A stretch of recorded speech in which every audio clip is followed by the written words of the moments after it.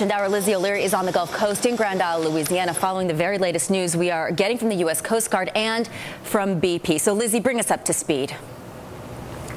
Well, what we've really been hearing in the last few hours are numbers, Lori, and they're pretty staggering, including this headline that the oil that has leaked out of the Deepwater Horizon explosion could be twice that of the Exxon Valdez. So we're talking about somewhere between 17 and 39 million gallons of oil. That's a rate of about 504,000 gallons a day creeping toward this coastline and spreading out. Also, some questions about whether it's been picked up by the loop current, and that heads toward Florida. Now, the other thing we, of course, have been watching is that top kill operation, a temporary halt to the oil coming forth because of the amount of heavy drilling mud forced back down toward the blowout preventer.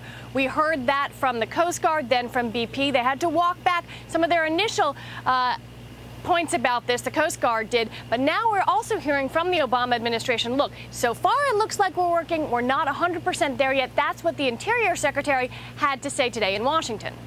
The latest uh, report uh, from Secretary Chu and uh, those in the command center at BP this morning is that the effort on Top Kill continues. Whether it will work or not, Congressman Lewis, is still an unknown.